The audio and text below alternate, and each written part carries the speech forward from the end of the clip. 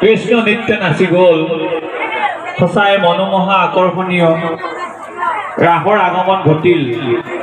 শৰতৰ পূৰ্ণিমা ৰাতিত যেনেকৈ কৃষ্ণৰ মনোমোহা নৃত্যই সকলোকে মন মোহিত কৰে সঁচাকৈ আজি আমাক প্ৰথম মুগ্ধ কৰিছে তাইৰ নৃত্যই।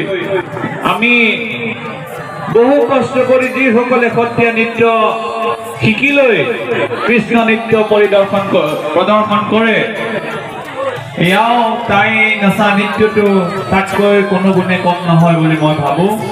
সেয়েহে আমাৰ অন্তৰৰ পৰা তাইক খুব খুব অভিনন্দন জনাইছোঁ। ভৱিষ্যতে তাই উজ্জ্বল হওক। আকৌ এবাৰ ডাঙৰকৈ হাত চাপৰি বজাওক তাইৰ কাৰণে। আৰু সেই